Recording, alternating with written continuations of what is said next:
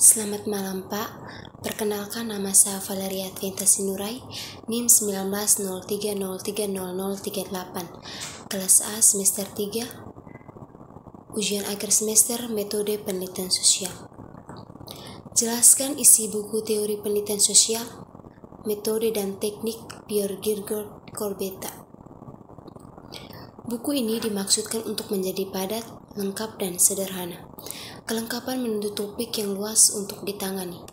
Bab pertama memiliki kemiringan filosofi yang sama-sama, sementara beberapa bagian dari buku ini seperti yang membahas eksperimen, pengambilan sampel, dan penskalaan berisi beberapa bagian yang lebih formal.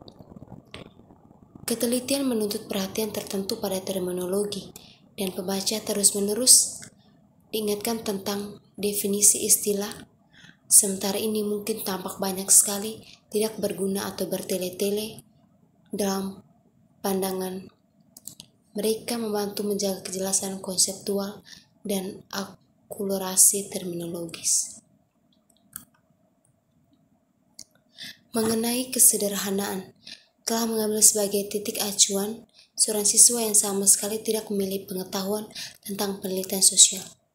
Oleh karena itu, tidak ada yang dianggap remeh dan setiap konsep atau istilah baru dijelaskan saat diperkenalkan.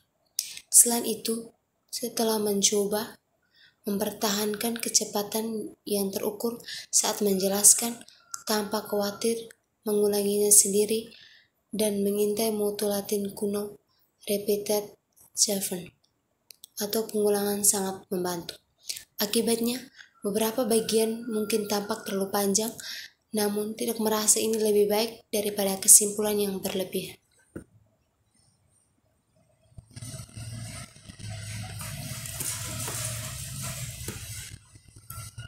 Buku ini bukan sekedar pengantar, juga tidak mengklaim memberikan perawatan lapangan yang lengkap. Tak perlu dikatakan, landasan filosofi dan teknik dan teknis penelitian sosial belum dibahas secara mendalam.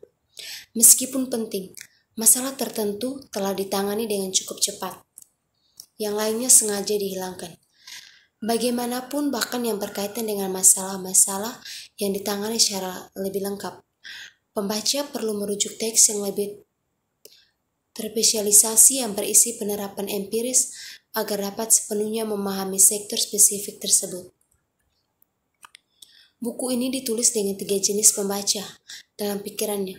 Yang pertama, mahasiswa ilmu sosial. Bahkan jika mereka tidak ditakdirkan untuk menjadi aktual penelitian empiris. Dengan kata lain, untuk melakukan penelitian di lapangan, hanya melalui belajar metodologi dan teknik penelitian sosial, akan mereka dapat mempelajari apa ilmu sosial adalah.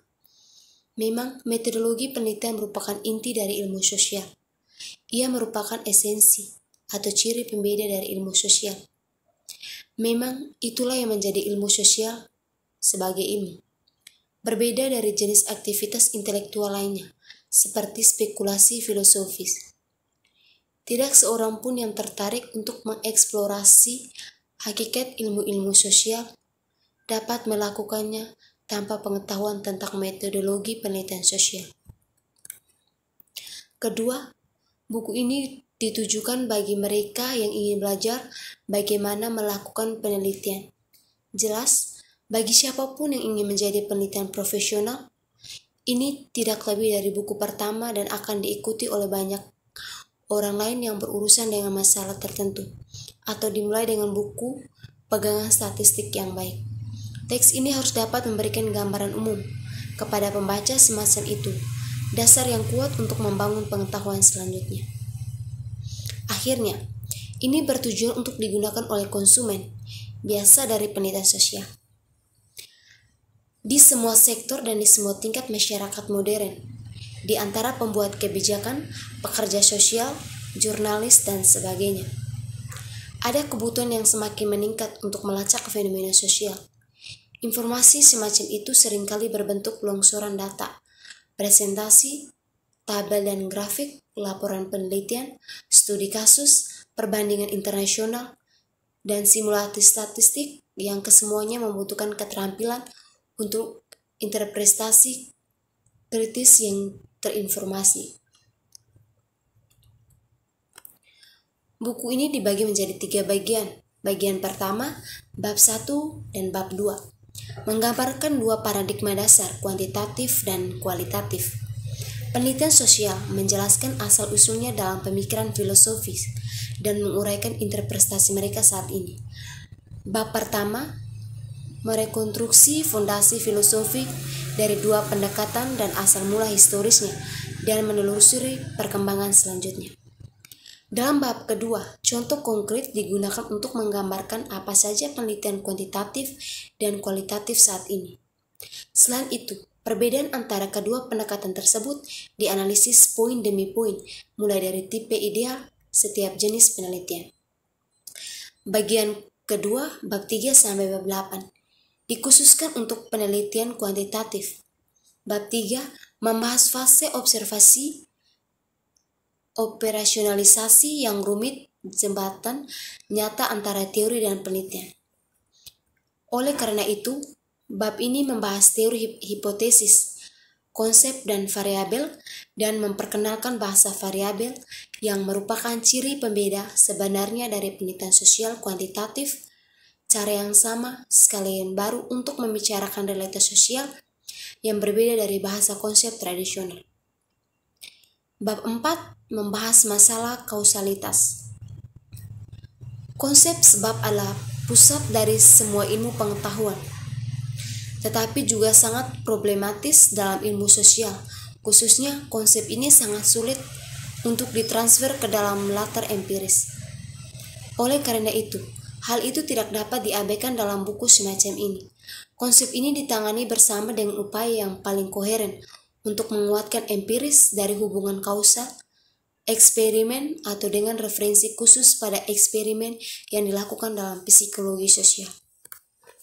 Bab 5 membahas survei, meskipun ini hanya salah satu alat pengumpulan data yang tersedia dalam penelitian sosial. Saat ini, teknik ini paling banyak digunakan dalam penyelidikan sosial.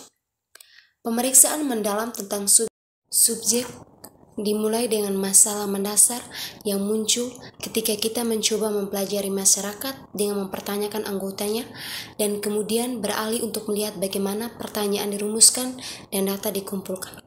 Akhirnya, garis besar diberikan tentang situasi saat ini, di mana arsip-arsip besar yang dibuat oleh badan-badan nasional dan internasional menyediakan data untuk penelitian yang dapat dilakukan secara langsung. Subjek bab 6 adalah penskalaan, artinya mengukur konsep yang rumit.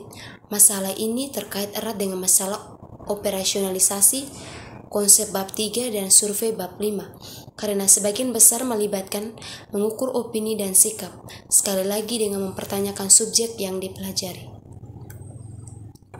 Bab 7 berfokus pada sumber statistik resmi diproduksi oleh pemerintah atau seperti dalam kasus sensus atau oleh badan-badan nasional, statistik resmi merupakan sumber informasi yang sangat penting atau dan sering kali kurang dimanfaatkan tentang masyarakat.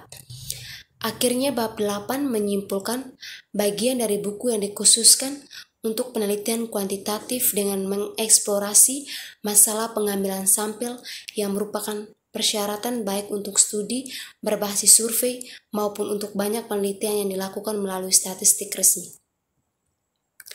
Bagian ketiga dari buku ini bab 9 sampai bab 11 dikhususkan untuk penelitian kualitatif.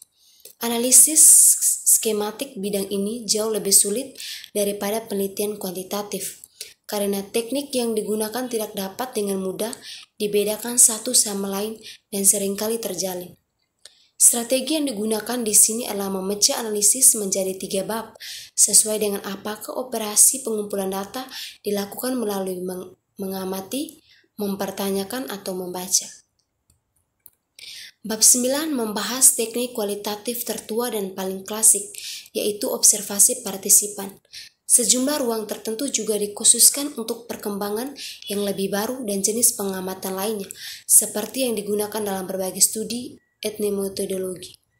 Bab 10 membahas wawancara kualitatif yang dapat dianggap sebagai mitra kualitatif dari survei Sedangkan pembedaan dilakukan atau antara terstruktur semi terstruktur dan wacana tidak terstruktur.